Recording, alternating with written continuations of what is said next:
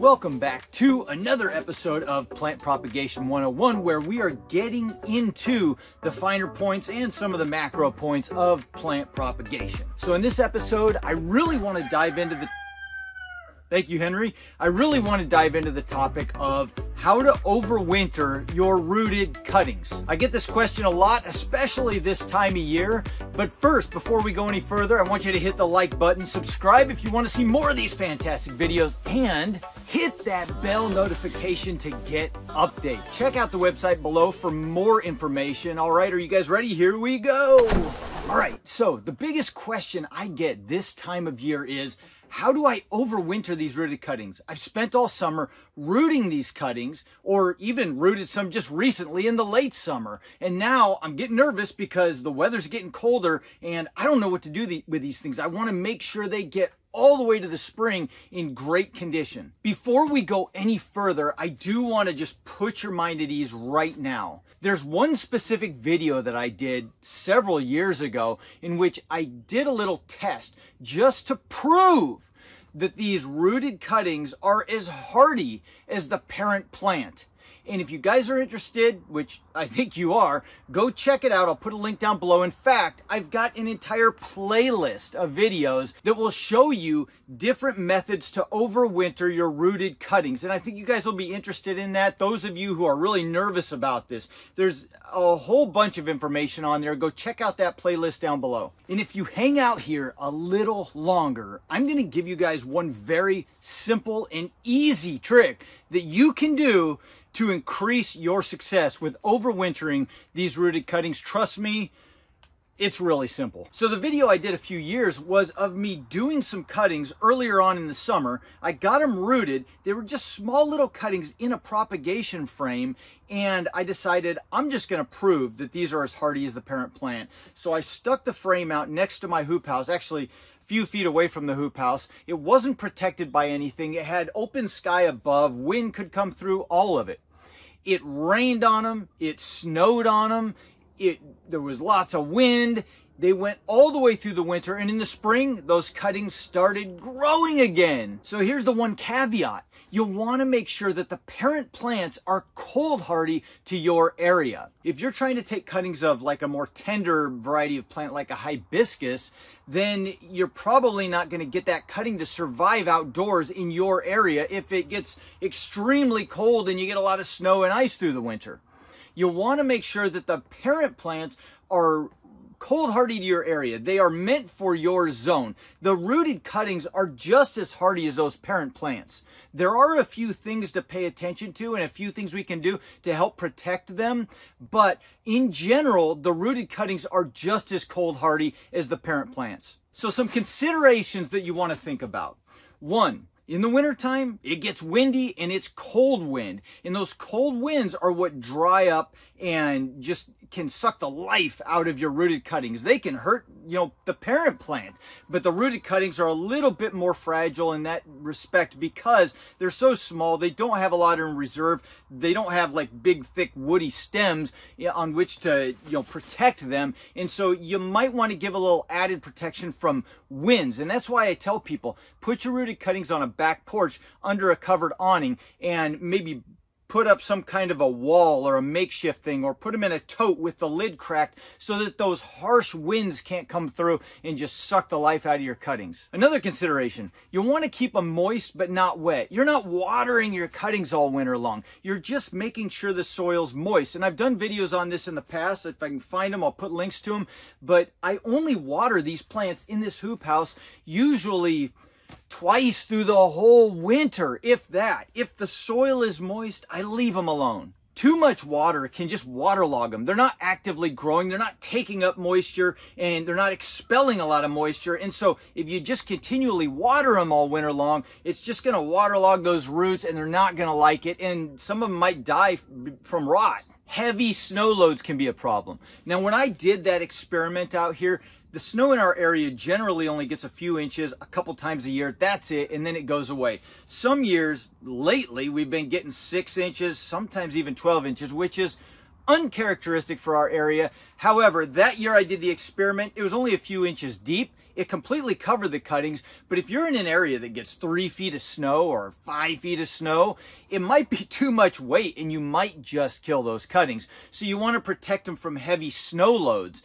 So you'll put them under a back porch or you know something where there's a covering so that that snow isn't just weighing down on those cuttings. That will also help prevent rainwater from saturating those little cuttings soil so that it's not oversaturated. Just like you don't want to overwater these, you don't want too much rain overwatering the cuttings. Now, if you've checked out the playlist down below and you've looked at all those videos and you said, you know, I just want something simple and easy that works almost every time or every time is what we really want then I've got something really cool for you. It's really simple, it's really easy, and it will add a lot of protection to your rooted cuttings through the winter. And that is this. Just put your rooted cuttings in an unheated garage or a shed. That's enough protection. You don't want to heat it. Let it freeze in there.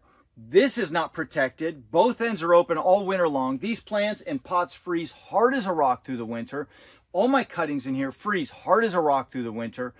It's not a problem at all. Just put them in an unheated building, unheated structure. It doesn't even matter. A shed will do fine. It doesn't need any lighting. They go dormant through the winter and they don't need light until the spring when those buds start swelling and they want to start growing again. You definitely need to get them back outside when that starts happening because you don't want long spindly growth that's pale because it doesn't get any light. But through the winter, you don't need any light. You don't need any extra protection. Just throw them in a shed, an old shed. It doesn't matter. It will provide enough protection from the wind, the snow, and the rain, and a little bit of frost protection in regards that when it will freeze in there, but when the, the heavy hard frost hit really quickly, it provides a barrier and kind of a, a layer of insulation so that that frost happens a little more slowly on the inside of that building. And that's enough to protect your rooted cuttings. And that's another very important point that I just thought of. So many people come on here and say, but Mike, you have a greenhouse. That's why you're overwintering these cuttings. No, this is not a greenhouse. And I've said this in other videos. This is a hoop house or a cold frame structure. Both ends are open all winter long. Everything freezes hard as a rock. There is nothing different in here than there is outside, except there's a little bit of a barrier to slow down the frost. The other reason I have this structure, and a lot of people ask me this, why do you even use this thing? It's because I mostly grow rhododendrons, and this white shade cloth, or it's plastic, but they call it shade cloth, it, it provides about 50% shade for these plants. Now, I found over the years that it's perfect for just about any small nursery plant because it provides a shady environment. But that's basically what I bought it for. And I found over the years that it's been really helpful for wind protection and I can regulate how much water these pots get through the winter. So that's it. I hope that helps you guys. And I would strongly encourage you to go click on that playlist down below. Check out all those videos. I've got lots of thoughts and ideas and things that you can do to help protect your rooted cuttings. And, you know, not everybody's in the same location. Not everybody has access to a shed or a garage. There's a lot of different ideas that you can do in there. I think you'll really like them. Go check those out. So if you guys like this video, you know what to do. Hit that like button, subscribe if you want to follow along and see more fantastic gardening videos. Have a fantastic week, guys, and I'll see you in the next video. Adios. Wait, don't go anywhere. We need an update. And I've got just the update for you guys, although we're going to talk about three different plants that we've propagated in the past and how they're doing because it's that time of year right now and things are happening and you just got to film the things when they're happening. So here we go. The first one is this rose right here. And I know I updated you guys on this already, but I got to do it again because it's in full bloom. This is Galena's rose. And I did a video on this last summer. I think I posted it last summer. Anyway, this is finally starting to bloom and it is absolutely gorgeous. It had a little bloom in that last update, but they're really putting on blooms now. It is turning out to be very fragrant and I am really excited. I got three of these plants to root and they are just looking fabulous. Definitely gonna keep these out on the property. The next update is gonna be these lavender because we did a video on this and I'll put a link to that one in the description where we actually rooted the cuttings of these lavender and then potted them up the following year. I think I had a couple videos on that. They're still doing good. I really need to prune them back now. They've got all kinds of these old spindles where flowers were in the past, but the growth is coming up real nice and strong. If I prune these back real good this winter, up pot them to two gallon pots and put them outside in full sun, they'll bush out even more and be ready for the landscape.